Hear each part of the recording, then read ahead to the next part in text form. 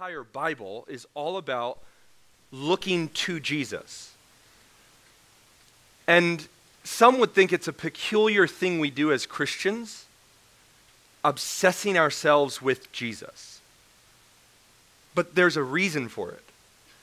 It's because Jesus Christ has rescued us from our sin. He's rescued us from our brokenness. He's rescued us from our fallenness.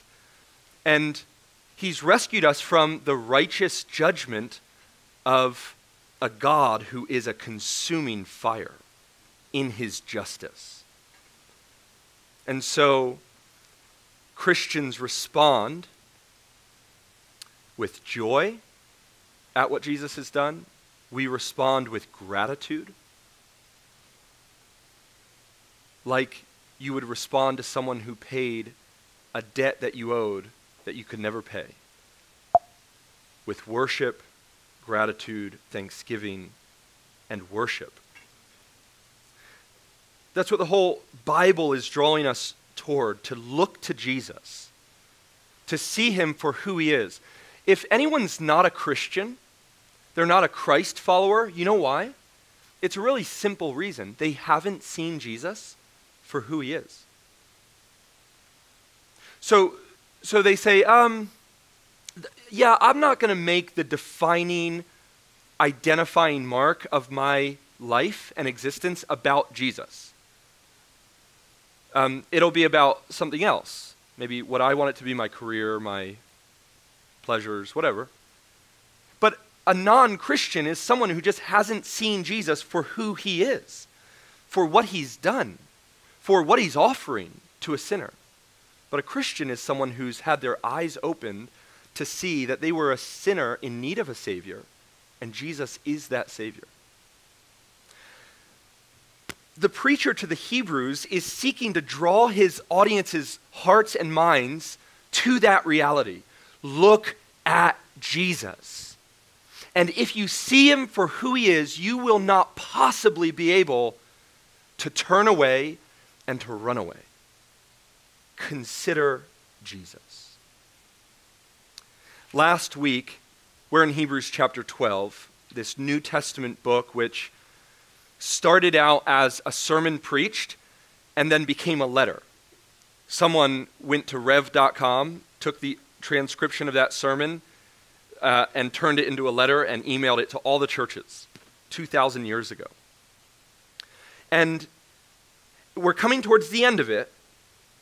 And the chapter before, which Joey put on a masterclass of exposition last week, showing us what is faith. And not only what is faith, but what does faith produce?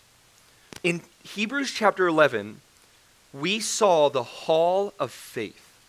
And we learned that faith is a whole person commitment. It's the entrustment of everything you are to everything that Jesus is. Joey showed us, kind of walking through Hebrews 11, that faith believes what it can't see. That's what makes it faith. It's, it's believing what is not visible. It looks forward to what God has promised while rejecting the lesser pleasures that this earth offers. Remember, we saw um, some people in Hebrews 11 who were like, I'm going to suffer with Jesus because I want what he can offer in the future rather than just enjoy the fleeting pleasures of sin. Faith believes what it can't yet see, but it trusts the promise of God, rejecting these temporal pleasures for, for what is coming, and therefore true faith endures to the end, to, to receive what it's hoping in. And Joey finished kind of just, it's not a problem. I mean, I'm not upset. just kind of stepping on my sermon a little bit. So when he says, I'll preach Hebrews 11, I, I just think he's going to preach that chapter, but it's fine. He did finish going into chapter 12, which is fine, although I would just point out uh, self control is a fruit of the Spirit. but, but he showed us that faith is looking at its object, Jesus. Faith is looking at Jesus. So in Hebrews chapter 11, we saw this hall of faith, and really what it was was the preacher took us on a tour through history looking at the faith of our Christian ancestors. So the preacher is trying to encourage his contemporary audience guys, have faith, don't let go. So then he takes them on a tour through the corridors of history. Let's go look at this family we're involved in. And it is a family because if you, if you have your Bibles open, look at chapter 10, verse 39. He's just come off of the heels of saying, Man, it's a horrible thing if you shrink back and let go of your faith. But look at 10, verse 39. We are not those who shrink back and are destroyed. The faithless will be destroyed. But we are of those who have faith and preserve their souls. We are of those. We're of the family of faith. We're of the family of believers, the ilk of believers. He really wants them to take pride in their family name. You're a McCoy. Act like a McCoy. You don't marry a Hatfield if you're a McCoy. Take some pride in who you, in who you are. Maybe you've, um, we've kind of lost some of that in our culture, that rich, you know, cultural identity. But um, maybe some of you have, have a grandfather who says, You're a Smith. Act like it. You know, and, and what he's trying to get you to do is remember who you are. You're of a long line of Smiths. Behave like a Smith. Well, what the preacher here is saying is, you're not of the family of non believers, you're of the family of believers. So let's go look at that family. And so he launches into chapter 11 a biographical look at their family tree. And in doing that, um, remember, this is a sermon this preacher has given his hearers a bit of a break. Um, a sermon is an experience, and, and sometimes I'm calling you to do something. Sometimes I'm calling you to think about something. Sometimes I'm calling you to respond as a preacher. And this preacher gives his hearers a bit of a break. For this entire chapter of Hebrews 11, he just talks in the third person. He's talking about other people. Look at him. R- remember her? Remember, remember that group there Remember how they held on? He, he's looking at others. And um, he's doing that with an aim to do something with his contemporary hearer, but he's taking their minds to someone else. And I don't know if this is why, but it's often easier to learn a lesson when we're thinking about how it applies to someone else. Right? Let's consider Moses. He went through a lot, didn't he? Yeah, he did. And man, he, he gave up a lot, didn't he? Yeah, he did, but he held on. Man, that's so good. Um, so you should hold on. Oh, this applies to me. This is a lesson for me. So, what the preacher does in chapter 12 is he comes back now to, to communicate directly to the listener. He goes immediately, now, this has something to say for us.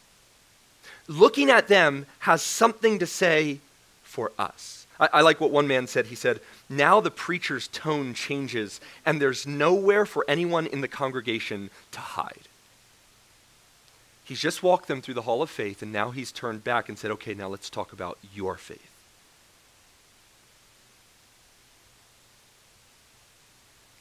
Um, I'm, I'm going to frame this chapter around two points an unshakable faith and an unshakable kingdom. And what he's done is he has just shown us, person after person, who possessed an unshakable faith. They held on to their faith in the Messiah no matter what. And it got pretty dramatic, didn't it? I don't know if Joey faints when he like sees blood, so he didn't really emphasize this one a ton, but he talked about people getting sawn in two because of their belief in the Messiah. And so rather than letting go of their faith in the coming Savior, they said, Yeah, I guess you're going to have to cut me in half. That's pretty unshakable, right? That's pretty, that's pretty let go. I'm not going to let go. We'll cut you in half. Okay, but I'm not going to let go. Unshakable faith. So we've just walked through a corridor of unshakable faith, and now the focus is on your faith. And the author to the Hebrews, this preacher, wants to show you that Christianity, in its essence, is possessing an unshakable faith in an unshakable kingdom. That's the message. Beginning in verse 1, let's consider an unshakable faith. Therefore, since we are surrounded by so great a cloud of witnesses, let us also lay aside every weight and sin which clings so closely, and let us run with endurance the race that is set before us.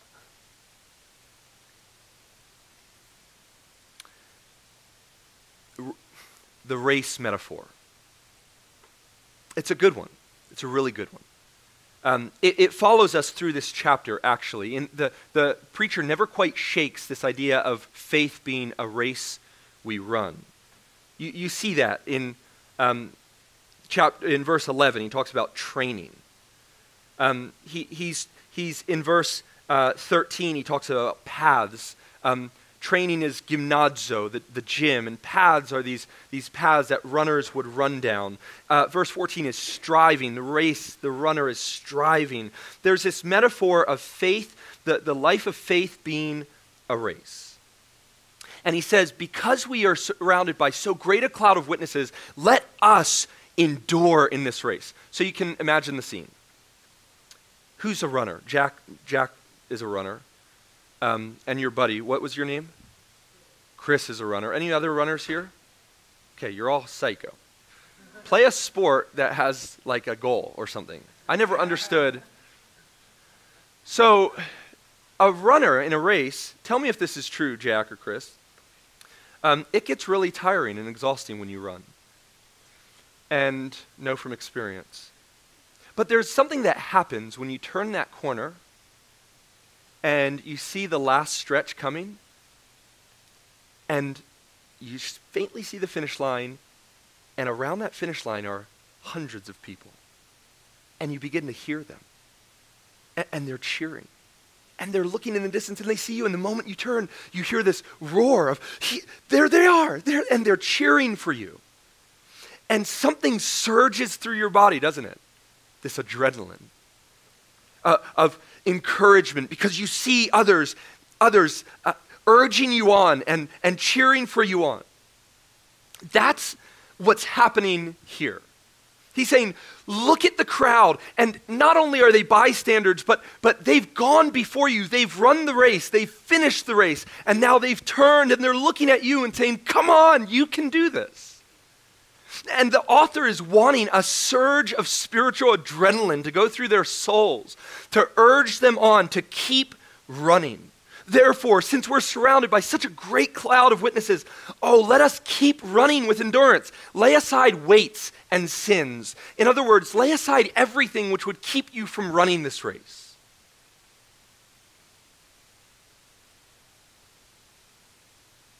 Um, the weight and sin, we could spend time there. I, I'll just note this. Not everything that is a hindrance to your Christian life is in the category of lawlessness. We need to think strategically about how we're going to run this race, this difficult race. And the author here says, let those who've gone before. Um, this would be a good exercise. Go back and look at the lives of those in Hebrews 11 and say, what did they give up in order to run this race with endurance? They gave up a lot. And some of it would have been legitimate. Like Moses could have argued, well, can I like believe in the Messiah and be Pharaoh and kind of have all the money? Like, yeah, okay, I guess. I mean, Joseph did it. Yeah, Joseph did it. But he laid it aside because he knew it would be a hindrance. So he's wanting to urge them on in this race, to, to look forward, to, to be spurred on by these this cloud of witnesses. But then think of this. Okay, here we're, we're back running again, and if you just turn the corner and you're getting closer to the finish line. And so you're starting to see the faces of the people at the finish line. And isn't it a special moment when there's a crowd and you see some of your friends, but then there's that one person that sticks out? Your mom, or your dad, or your crush, or whatever. And and another, another, because even amidst all these people that are so encouraging to you, dad came. Eh, dad's, dad's watching me. And so you're finishing that race just looking at him, singled out amongst the crowd. It's a moving picture, and it's one we've experienced. And that's what the author does. He says, going on from verse 1, this not only is this great cloud of witnesses urging you on, but verse 2, looking to Jesus, the founder and perfecter of our faith. The author points out that special attendee, Jesus Christ, who he himself has run this race. And he also is urging you on. Who, for the joy that was set before him, he endured the cross, despising the shame, and is seated at the right hand of the throne of God. He's urging you on. I've said this in the past. I love these just statements looking to Jesus. Verse 3 consider him. If we could just pause there and think the Christian life is a contemplation of Christ. Look to him. And what do we see when we look at Jesus? We see that he endured. And guys, he endured a lot. Despised shame, he was shamed. Um, endured from sinners such hostility against himself. You see that phrase in verse 3? What an interesting phrase. You could really sit there and, and just allow yourself to reflect on that. He allowed himself to endure from sinners hostility against him. The Creator entered the creation and allowed the creation to despise, spit on, and crucify the Creator. There's so much in that. And yet he endured it the agony, the humiliation, the coming down to be killed, because he considered the joy of heaven a greater reward. But not only the joy of heaven for himself, but the joy of heaven with all those he would bring with him. You and me. We're to consider him. L- look at the end of, or the second part of verse 3. Consider him so that you may not grow weary or faint hearted.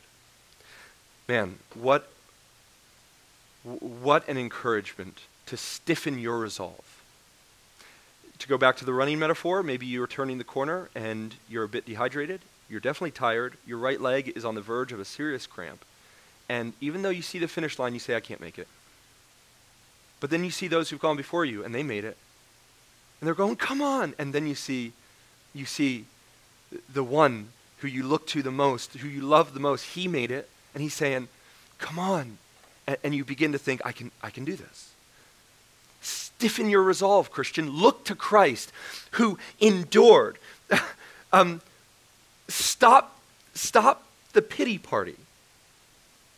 Look at what he endured. Look at verse 4. In your struggle against sin, you've not yet resisted to the point of shedding your blood. You know what he's saying? Jesus did. He went through more than what you've gone through, and he made it. You can make it. Keep running. Keep running. Endure the persecution, endure the temptation, endure the difficulties. Something interesting happens here in this chapter. Okay, if you've been following with us in this study, you remember the context. The Hebrew people, the Hebrews to whom, whom he's writing, were Christians who'd left the Jewish tradition and are suffering for it. And so some of their stuff's being taken, some of their own family members are persecuting them. So they're getting persecuted from the outside, from, from everything they've known. The other scenario that we've seen here is they've been tempted by their own sin sin toward uh, just sensual delights that the world has to offer, and also the sin of doubt. Is Jesus really worth it? And so, to this point, when Joey and I have been preaching this, we've been harping on endure through persecution and temptation. But he introduces a different kind of endurance here. Notice what he says in verse 5. And have you forgotten the exhortation that addresses you as sons?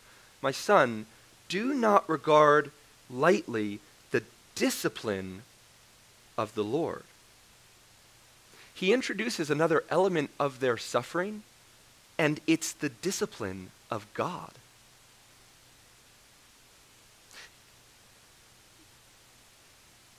Verse 6 The Lord disciplines the one he loves, chastises every son whom he receives.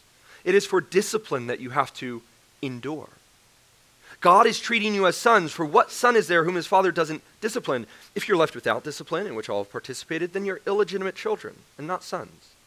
Besides this, we've had earthly fathers who disciplined us, we respected them. Shall we not much more be subject to the Father of spirits and live? For they disciplined us for a short time, as it seemed best to them, but he disciplines us for our good, that we may share his holiness. For the moment, all discipline seems painful rather than pleasant, but later it yields the peaceful fruit of righteousness to those who've been trained by it. He wants them to have unshakable faith that endures. And what he's calling them to do is to endure through not only the persecution and temptation, but to endure through the discipline of God. It's an interesting um, element that he's introduced here. You mean to tell me that some of their difficulties that they're experiencing are from God? I, I think we would be tempted as we go through this book to think God's wanting to rescue them from all the difficulty. Oh, if only I could rescue you from the difficulty of having to resist temptation. If only I could rescue you from the difficulty that your, your former uh, loved ones are, are bringing upon you. But then here, he, he says something almost shocking. I think many of us would receive it in a shocking way. Wait, God's the one who's disciplining and he's calling me to endure that? Why doesn't he just take it away? Well, you know why he doesn't take it away. Because nobody likes a spoiled child. Nobody likes a brat, right? And so he introduces this idea of wait, wait, you're God's children, aren't you? Yes. So he needs to discipline you for your good.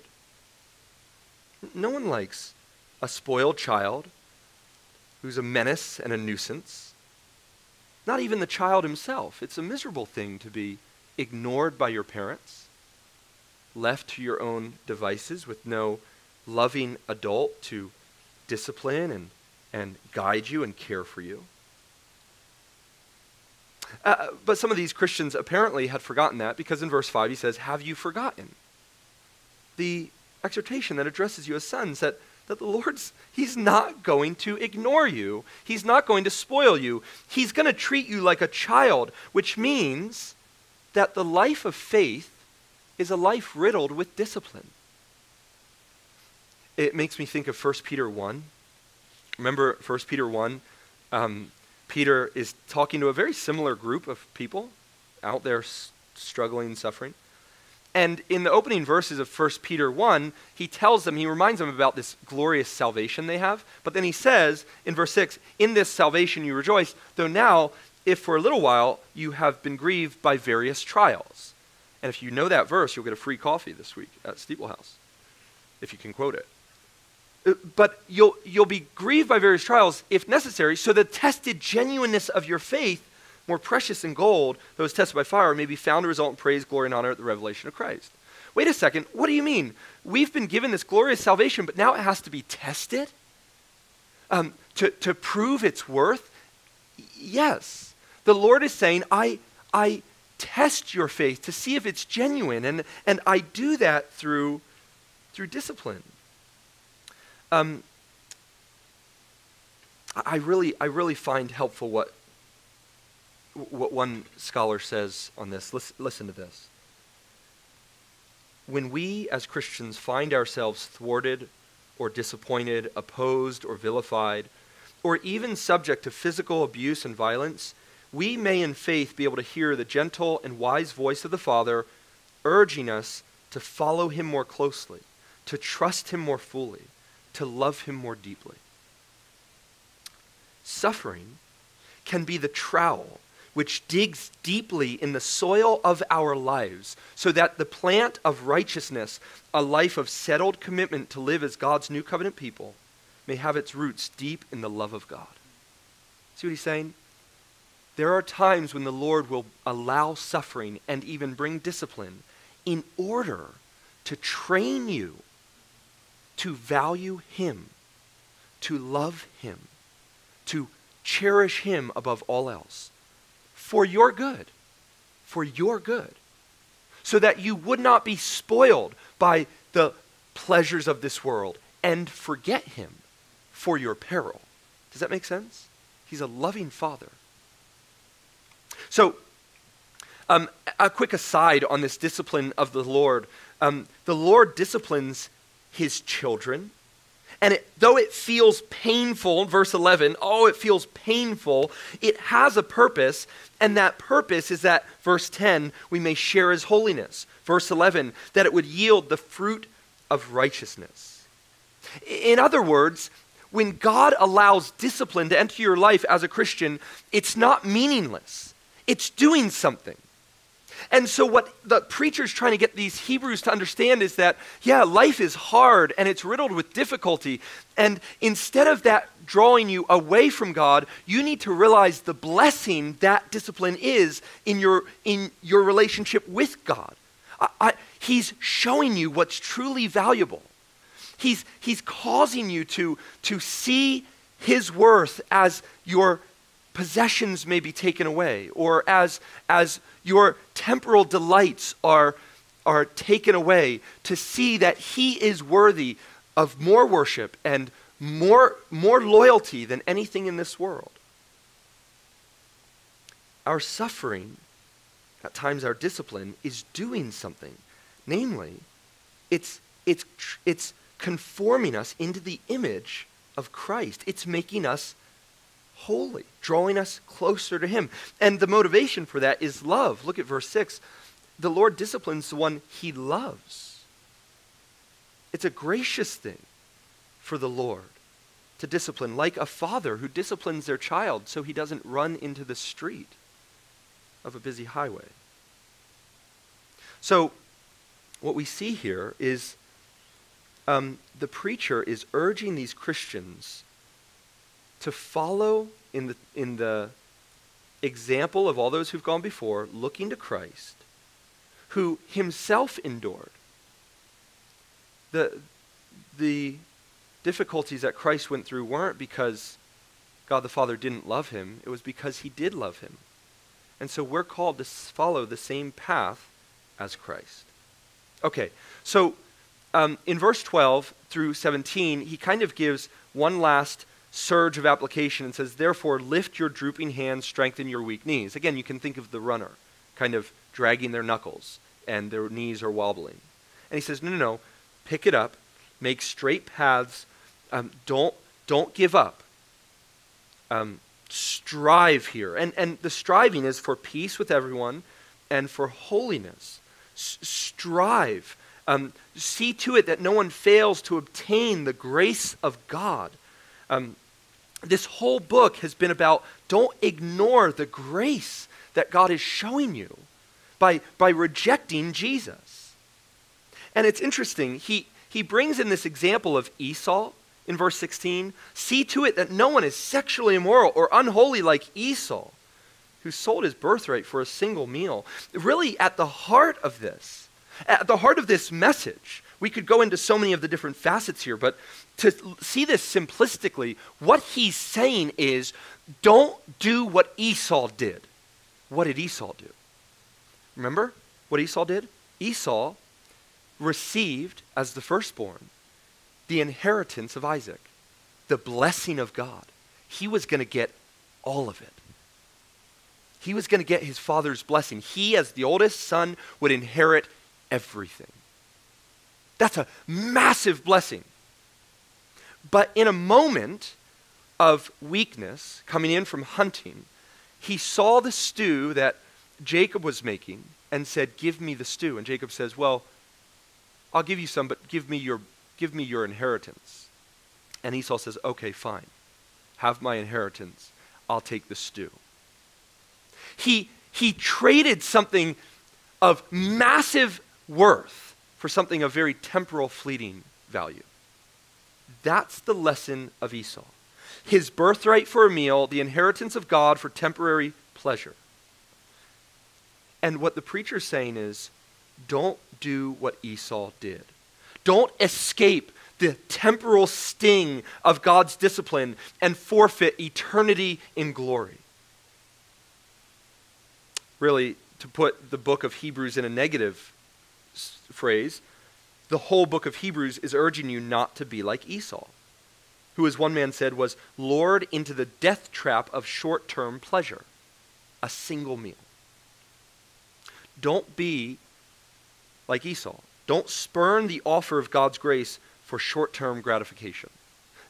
So, Christian, that's the message for them, and that's the message for you. This life is hard. Sometimes that pain is the Lord disciplining you because He knows what's good for you. Like when a little child cries and goes, Daddy, let me run into the street. And that daddy says, No, no, and disciplines. And the child goes, I don't like this discipline. Um, what he's calling them to do is, yeah, life can be riddled with discipline, it can be riddled with persecution and temptation, but endure because the eternal reward is worth it. And what these Christians are tempted to do is go, no, let me give up eternity just to get away from this temporal discomfort. Does that make sense? And it's the same temptation we have. It's the same temptation we have because we become so short sighted that we say, if only I give up this Jesus life, I'll have, um, I'll, I'll escape this persecution or I'll gain this pleasure. And the preacher, me in this case, is saying, don't do that. It's not worth it. That's like Esau giving up the inheritance. And if you read that account in Genesis 27, remember what, how Esau responds when Jacob gets the blessing? He runs into his father, lays upon his father, and weeping, Can't you bless me? Can't, don't I have something? No, I gave it to Jacob. There's nothing for you. And that will be the response of unbelievers in the final day. They will stand before God and go, Wait, I don't get heaven? No, because you gave up heaven for life on earth, for, for that pleasure. Remember those girls? And remember that money? And oh, remember the reputation you really wanted? And it was worth more to you than Jesus. Remember that? That was your heaven. No, but isn't there anything? Isn't there any heaven for me? And if you read that account in Genesis 27, because, because um, Isaac responds to, to Esau, it's very heavy. Because then he goes on to curse Esau. He actually curses him. And if you imagine the scene, you can think of Esau weeping and holding and say, Dad, stop. Close your mouth. Stop speaking. No, no, no, Dad. Stop, Dad. And he just, the, the curse comes out because it's all that's left for Esau because he gave up the inheritance. A powerful picture. Though he tried to repent with weeping, there was no repentance for him. So the preacher's saying, and I'm saying to you, because what God is saying to us is don't trade the eternal for the temporary. Hold, hold on to an unshakable faith, which helps you understand in Hebrews 11 why the guy was like, yeah, go ahead and saw me in half. Because he was looking with eyes of eternity. Does that make sense? Okay, this is where um, we turn to an unshakable kingdom. Uh, well, I'll say this unshakable faith sees that reality sees life in the paradigm of Esau, okay? If I, could have you guys leave looking at your life like you never have before, I don't think any of you have ever looked at this world in the paradigm of Esau. So go out from here tonight when you go to Dave's Hot Chicken or El Venado and look at your life through the paradigm of Esau. I don't want to be like Esau. My flesh sometimes tempts me to be, I don't want to be Esau. I don't want to trade. And unshakable faith sees the world that way. Unshakable faith gets this perspective. Unshakable faith sees Jesus and follows him through suffering. Now, the preacher could be done there, but he's not. So in verse 18, he says, For, because he's building. He's still building his case. And now he introduces an unshakable kingdom. And this is where I'm going to ask Joey to come up and preach the rest of the sermon. Just kidding. This, this part, um, th- there's a lot going on here, but I'm going to try to simplify it. Um, the, the, the preacher returns to this idea of comparing covenants the old covenant under Moses and the new covenant under Christ. Because his hearers are tempted to return to the old one. They're tempted to not heed the voice of God. Verse 25 says that. Don't not heed the voice of God. And to make this comparison, to kind of finish his argument, he compares two mountains Sinai, by implication, and Zion. Sinai, from verses 18 through 21, and then Mount Zion from 22 to 24. Um, he, he brings up Zion because he says, You have not come. For you have not come to, sorry, Sinai. You have not come to Sinai. Now, what was Sinai? Sinai is the place where God inaugurated the Old Covenant under Moses in Exodus 19. Okay? And here, he describes basically what happens in Exodus 19, which is a really terrifying and dramatically so uh, terrifying scene.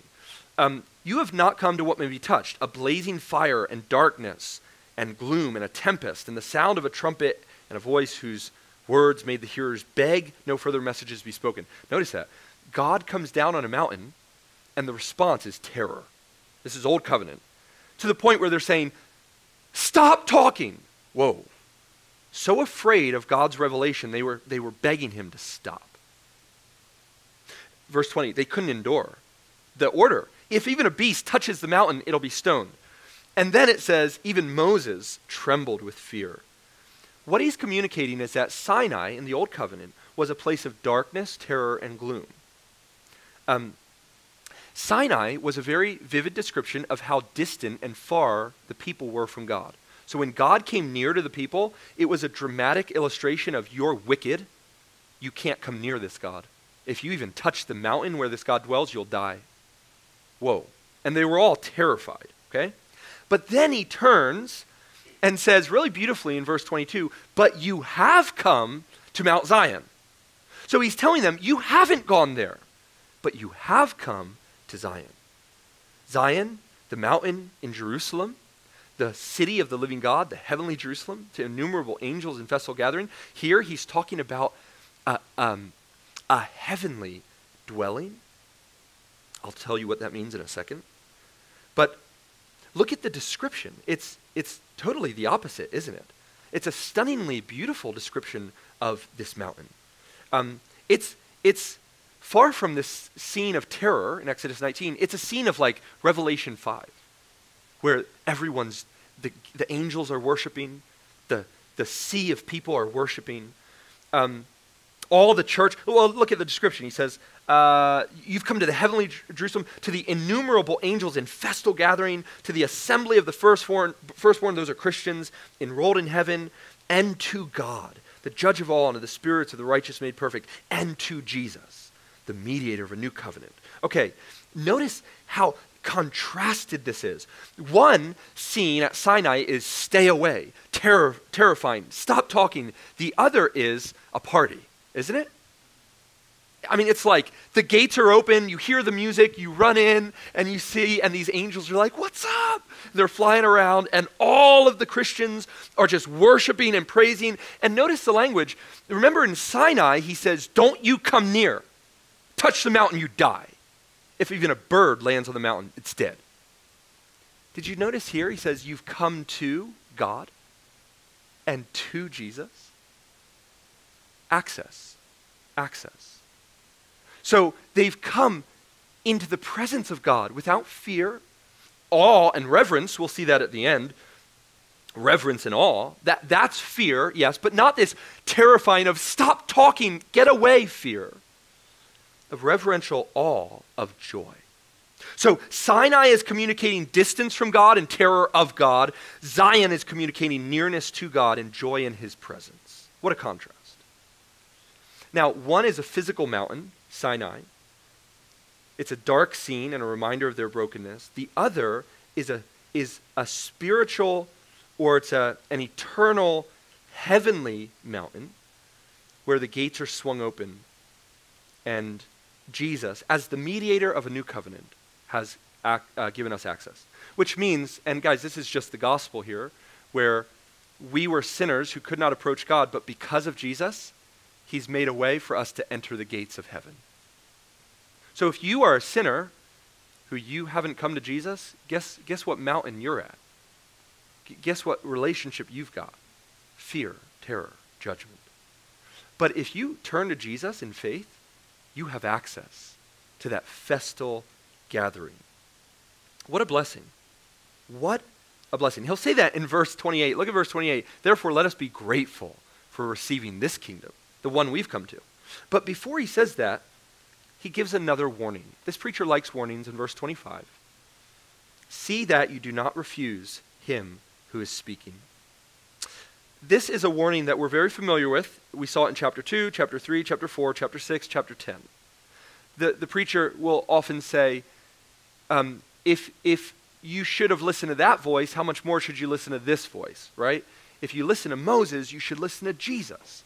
And he says it again here See that you do not refuse him who is speaking.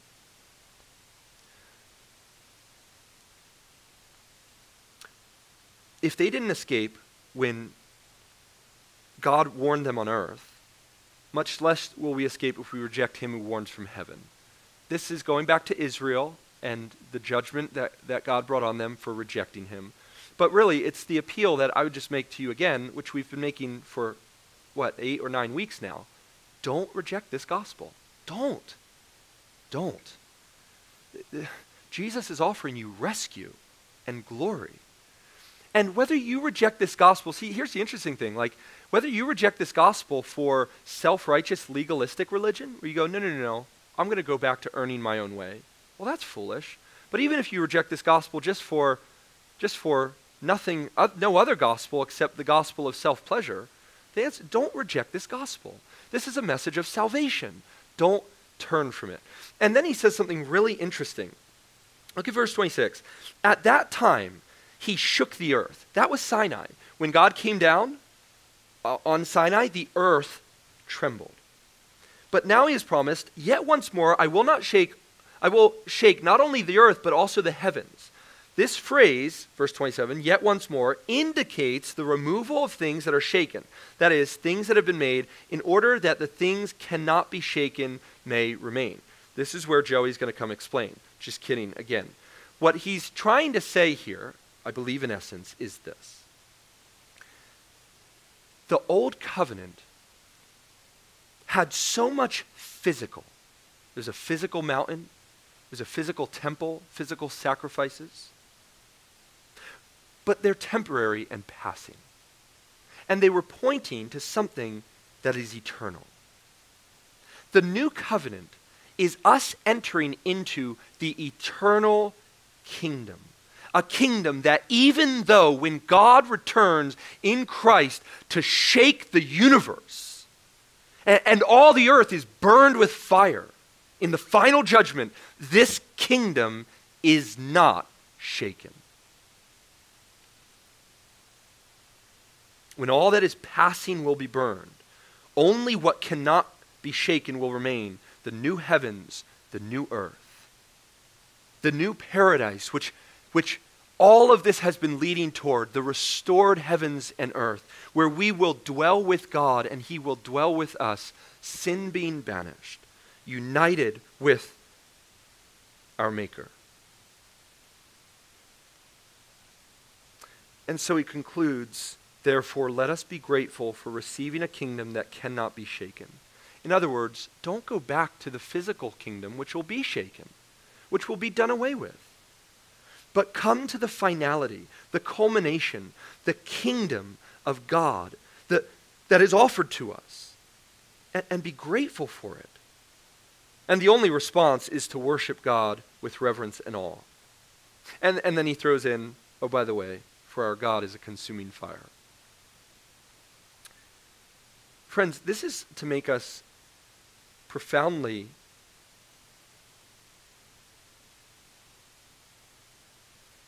aware of his grace, of this salvation, of this covenant that we have in Christ. Why would you trade anything? Any deliverance from temporary pain, any momentary fleeting pleasure, any removal even of, G- of God's discipline, why would you trade anything for this eternal, unshakable kingdom that is yours in Christ? That, that kingdom that we will enter into. We, we, we, we are so distracted, but you, re- you realize that the eternal kingdom, we, we will walk on the new heavens and the new earth in, in perfected bodies, I- enjoying the fruit of creation with no sin, no contamination, no death, no pain. God will dwell among us. We'll enjoy perfect communion with our Creator as we were designed to be. Christian, that's the reality you're looking toward. You believe that, don't you? Ha- have you allowed the distractions of sin and the temptations and persecution and have you allowed your mind to become so temporally focused that you you've forgotten that? How glorious that will be when the creation will no longer groan, when there will be no more brokenness, when you will live in Edenic paradise with your Savior. Tell me one thing on this earth that this world has to offer worth giving that up for.